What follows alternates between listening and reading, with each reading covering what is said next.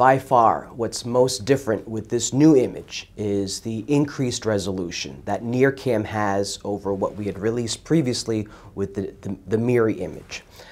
This is basically the clearest look we've ever had at a young exploded star. NIRCam has this breathtaking resolution, and it's able to map the exploded debris with um, clarity unlike any other. So uh, if you can think about if anybody's wearing glasses out there, the first time that you put on a set of glasses, it's kind of a dramatic revelation, like, oh my gosh, the world looks like this. this star shattered. It goes into, kind of imagine like a windshield shattering into millions of little pieces. That's what we see here.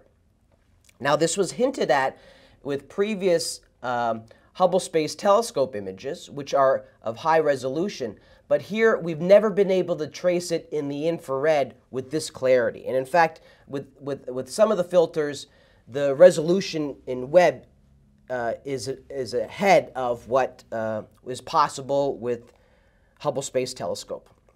And if I zoom in just a little bit more, just appreciate the level of, of detail that we can unpack. And that's going to take years for us to be, to be able to fully understand. One of the unexpected discoveries from this beautiful NIRCam image was this light echo. That means light from the original supernova that didn't take a straight beeline route to us from the star, bounced off in a different direction, heating gas in uh, some other uh, location.